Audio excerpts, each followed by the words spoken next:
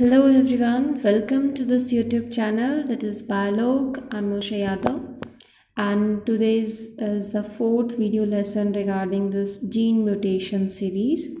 Okay, so last video lesson may we discussed about frame shift mutation and different uh, kind of frame shift mutation in which we discuss about insertion and deletion. Okay. So in this particular video lesson, uh, we are covering the third type of gene mutation that is a base substitution method or base substitution mutation. Okay, already we covered two of uh, two kind of gene mutation that is uh, point mutation and uh, frame shift mutation. This is the third type of gene mutation, base substitution mutation. Okay so, base substitution mutations, these are those mutation in which one base pair is replaced by another. Means ये कि आपके पास gene sorry DNA sequence है और उस DNA sequence में all you know that कि आपके पास न्यूक्लियोटाइड बेस पेयर्स होते हैं, है ना? बेस पेयरिंग हो रही होती है डबल हेलिकल स्ट्रक्चर है। तो जब आपका बेस सब्सटीट्यूशन म्यूटेशन की आप बात कर रहे हो, उस टाइम पे यहाँ पे बेस का सब्सटीट्यूशन होने वाला है। और क्योंकि सब्सटीट्यूशन का मतलब ही यही है कि आप उसे रिप्लेस कर रहे हो काइंड ऑफ़ रिप्लेसमेंट है ये, ठीक है? सब्सटीट्यूट कर रहे हो, यानी कि जो एग्जिस्टिंग वन था, उसे रिप्लेस कर रहे हो। आप उसकी जगह दूसरा बेस पेयर यहाँ पे आ रहा है। इसीलिए हमने कहा बेस सब्सटीट्यूशन म्यूटेशन यानी कि those mutation in which one base pair is replaced by another ठीक है? एक जो बेस पेयर प्रेजेंट था, उसको दूसरे बेस पेयर से रिप्लेस किया जा रहा है सब्सटीट्यूट किया जा रहा है। ठीक है? सिंपल वर्ड से ही आप समझ सकते हो कि इस तरीके की म्यूटेशन में क्या हो रहा है। जैसे पॉइंट म्यूटेशन में था सिंगल न्यूक्लियोटाइड जा रहा था सिंगल न्यूक्लियोटाइड से म्यूटेशन हो रही थी। फ्रेम शिफ्ट में फ्रेम की शिफ्टिंग हो रही थी या तो इंसर्शन हो रहा था या डिलीशन हो रहा था यानी कि, कि डीएनए सेगमेंट की शिफ्टिंग हो रही थी। और बेस सब्सटीट्यूशन मेथड में क्या होगा या बेस सब्सटीट्यूशन म्यूटेशन में क्या होगा कि आपका जो सिंगल न्यूक्लियोटाइड बेस पेयर है उसकी रिप्लेसमेंट होगी उसे कोई और बेस पेयर रिप्लेस कर रहा है। देखो फ्रेम शिफ्ट में और बेस सब्सटीट्यूशन में डिफरेंस यही है। फ्रेम शिफ्ट के अंदर आपका जो डीएनए सेगमेंट है या तो इंसर्ट होगा या उसका डिलीशन हो गया तो एडिशन हो रहा है या फिर रिमूवल हो रहा है। लेकिन बेस सब्सटीट्यूशन के अंदर उसे रिप्लेस किया जा रहा है। यहाँ पे ना ही तो इंसर्ट हो रहा है, ना ही यहाँ पे डिलीट हो रहा है। यहाँ पे आप सिर्फ़ जो एग्जिस्टिंग वन है, उसको रिप्लेस कर रहे हो, ठीक है? So base substitution can be divide into two type transition mutation and transversion most common type है जिसके ऊपर एग्जामिनर क्वेश्चन पूछता है ट्रांजिशन म्यूटेशन ट्रांसवर्जन म्यूटेशन ठीक है? तो मेक श्योर sure कि आपके लिए ये टॉपिक जो है बेस सब्सटीट्यूशन म्यूटेशन है, वो क्लियर हो, क्योंकि जनरली इससे पूछा जाता है, कई बार आपको केमिकल से एग्ज़ाम्पल भी दे दिए जाते हैं कि कौन सा पर्टिकुलर आपका केमिकल ट्रांजिशन म्यूटेशन कॉज करेगा ट्रांसवर्जन म्यूटेशन कॉज करेगा. Even C S I R के एग्ज़ाम की हम बात करें तो सी एस आई आर के एग्ज़ाम में एग्जामिनर आपको इसी तरीके से क्वेश्चन पूछता है. कॉम्बिनेशन टाइप क्वेश्चन पूछते हैं कि कौन सा पर्टिकुलर केमिकल होगा जो म्यूटाजिन की तरह काम करेगा और किस टाइप की म्यूटेशन को वो कॉज करेगा. ठीक है? So make sure you clear all of your concept regarding this mutation mutation topic so that you can solve all of those question okay and you can easily gain four marks because आपके जो gene mutation है उससे generally generally C section के question ही पूछे जाते हैं। B section में कंसेप्चुअल बेस्ड डायरेक्ट क्वेश्चन पूछे जाते हैं। और वो आपके जनरली बहुत कम चांसेस होते हैं, ठीक है? Okay so base substitution mutation आपका दो टाइप का होता है transition mutation and transversion mutation okay so we are going to discuss all of these two type one by one first one is transition mutation so transition mutation में क्या होगा? देखो transition हो रहा है यहाँ पे। आप डीएनए की जब बेसिक स्ट्रक्चर पढ़ते हो, आप प्यूरिन्स पढ़ते हो पायरमिडाइंस पढ़ते हो प्यूरिन्स और पायरमिडाइंस होते हैं ना, जब आप डबल रिंग स्ट्रक्चर वाले न्यूक्लियोटाइड बेस पेयर की बात करते हो दीज आर प्यूरिन्स और आप सिंगल आपकी जब वहाँ पे रिंग स्ट्रक्चर है तो आप पायरमिडाइंस में से कंसिडर करते हो।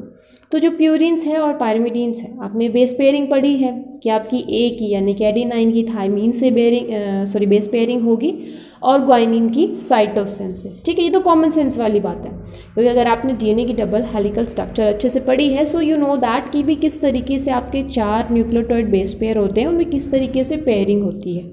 नॉर्मल कंडीशन की बात हमने करी, ठीक है? जब हम म्यूटेशन केस देख रहे हैं म्यूटेशन केस अगर हमने देखा और हम लोग ट्रांजिशन म्यूटेशन की बात कर रहे हैं तो आपको यहाँ पे ये चीज़ ध्यान रखनी है कि ट्रांजिशन के अंदर रिप्लेसमेंट होगी, क्योंकि बेस सब्सटीट्यूशन म्यूटेशन है। रिप्लेसमेंट तो होगी, लेकिन किसकी, किसके द्वारा रिप्लेसमेंट होगी, ये आपको ध्यान में रखना। जब आप ट्रांजिशन म्यूटेशन की बात कर रहे हो तो यहाँ पे आपके प्यूरिन को रिप्लेस करेगा प्यूरिन, ठीक है? पायरमिडीन को रिप्लेस करेगा पायरमिडीन। अब बात आती है प्यूरिन को। प्यूरिन कैसे रिप्लेस करेगा?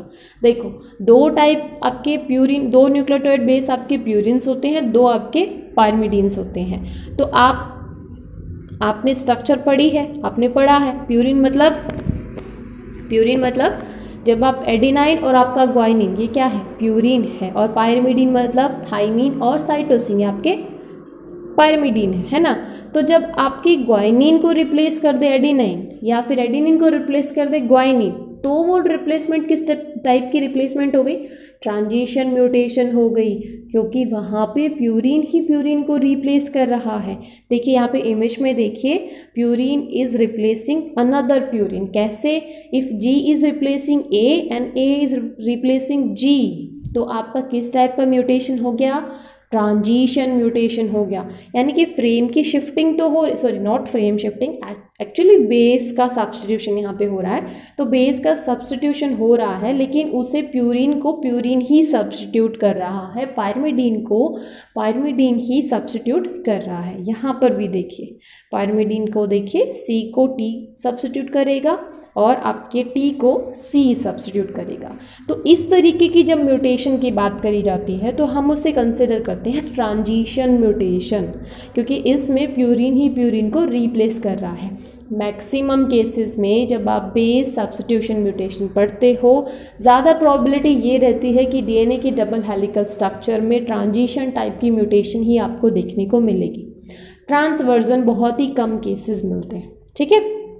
Okay moving to the next type that is transversion mutation transversion mutation में क्या होगा कि इट इज़ द अपोजिट बिल्कुल आपका अपोजिट हम लोग बोल सकते हैं ट्रांजिशन म्यूटेशन का। अपोज करता है। कैसे? देखिए ट्रांजिशन म्यूटेशन में हमने कहा कि प्यूरिन ही प्यूरिन को रिप्लेस करेगा। पायरमिडीन ही पायरमिडीन को रिप्लेस करेगा. बट जब हम ट्रांसवर्जन की बात करते हैं, आप दो फॉर्म पढ़ते हो सिस पढ़ते हो, आप ट्रांस फॉर्म पढ़ते हो, है ना? तो आपको अगर सिस और ट्रांस का डिफरेंस पता है तो ट्रांसवर्जन को भी आप उसी ट्रिक से याद कर सकते हो।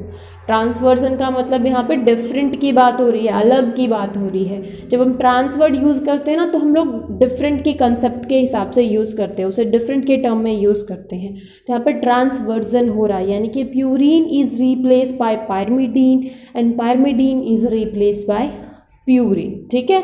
सेम यहाँ पे इस इमेज में आप देखिए किस तरीके से प्यूरिन को पायरमिडीन रिप्लेस कर रहा है और पायरमिडीन को प्यूरिन रिप्लेस कर रहा है। So transversion is the opposite of replacement of a base of one chemical category by base of the other chemical category ठीक है? यहाँ पे देखिए कि ए को सी भी रिप्लेस कर सकता है ए को टी भी रिप्लेस कर सकता है। जी को सी भी रिप्लेस कर सकता है जी को टी भी रिप्लेस कर सकता है। दूसरा केस अगर आप देखोगे तो आपके सी को ए भी रिप्लेस कर सकता है सी को जी भी रिप्लेस कर सकता है। दूसरी तरफ़ टी को ए भी रिप्लेस कर सकता है और टी को जी भी रिप्लेस कर सकता है। सो so, आपको समझ में आ गया होगा कि किस तरीके से बेस सब्सटीट्यूशन म्यूटेशन होती है। किस तरीके से प्यूरिन आपके प्यूरिन को रिप्लेस करेंगे और प्यूरिन से प्यूरिन के रिप्लेसमेंट या पायरमिडीन से पायरमिन पायरमिडीन के रिप्लेसमेंट को हम लोग ट्रांजिशन म्यूटेशन कंसिडर करते हैं और आपके जब प्यूरिन को पायरमिडीन रिप्लेस करे या फिर पायरमिडीन को प्यूरिन रिप्लेस करे तो हम उसे ट्रांस वर्जन म्यूटेशन कंसिडर करते हैं। ओके आई होप इस दिस पर्टिकुलर वीडियो लेसन से आपका बेस सब्सटीट्यूशन मैथड का कंसेप्ट जो है वो क्लियर हो गया होगा. Thank you so much guys for watching this video and if you like this video then please like it share it and subscribe